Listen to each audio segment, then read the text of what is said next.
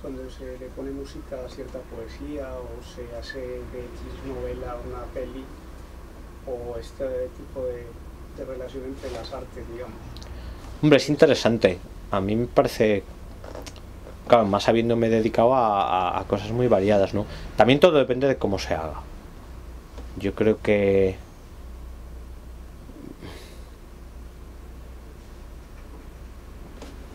¿Cómo explicarlo?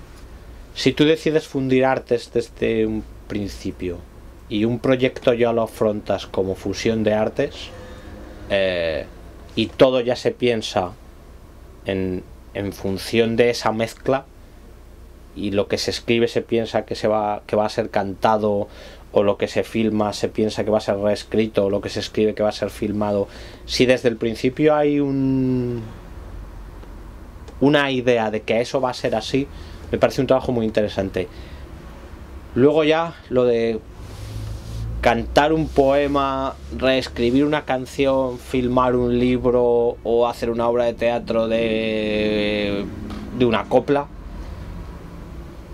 Mm, no me parece mal, pero creo que a lo mejor va a ser un poco, se puede ir un poco a contrapelo, un poco ya forzado por las circunstancias. A ver, yo siempre he tenido la idea de que quienes nos dedicamos a estas cosas, pues nos dedicamos porque intuyo que tenemos algo que contar.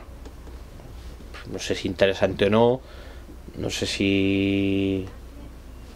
Pero hay algo que contar, ¿no?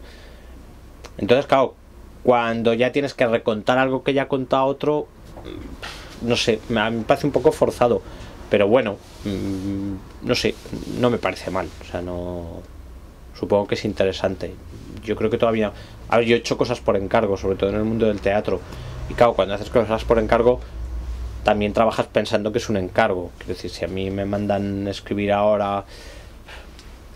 Pondré un ejemplo que es real, que aunque parece de chiste, es real hace muchos años en hay un pueblo de España que ahora no me acuerdo cómo se llama que tiene una feria internacional del ajo morado. Esto es así. El ajo morado de no me acuerdo cómo se llama este sitio, que es una feria muy importante. ¿Es un lugar de la Mancha del que no quieres acordarte? O... Es que además debe, yo creo que debe ser de la Mancha, yo creo que es, que es algún pueblo, es que no me acuerdo cómo... Lo tengo en la punta de la lengua y no me sale, pero bueno, tienen, hay una feria internacional del ajo. Y van productores de ajo de todo el mundo y se juntan en este sitio. Es una feria importantísima porque se hace allí porque el ajo morado de ese sitio es un ajo buenísimo.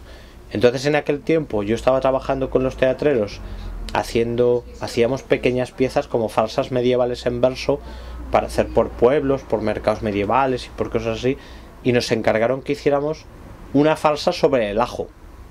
Entonces me tuve que escribir una pieza en verso perfectamente arrimado sobre las propiedades del ajo.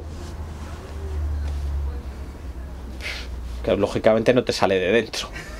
O sea, por más que lo intentes, es un encargo, ¿no? Entonces, claro, te lo llevas a tu terreno, pero, claro, realmente no es algo que a ti se te ha ocurrido contar y probablemente tú no tenías que contar nada sobre el ajo, ¿no? Pero claro, te llaman, te dicen que lo tienes que hacer y te lo van a pagar, pues lo haces lo mejor que puedes, ¿no? Pero claro, en el fondo supongo que lo ideal es que lo que tú cuentas o lo que tú escribes, pues claro, sean cosas que, que realmente a ti te, te interesa hacer y te interesa contar.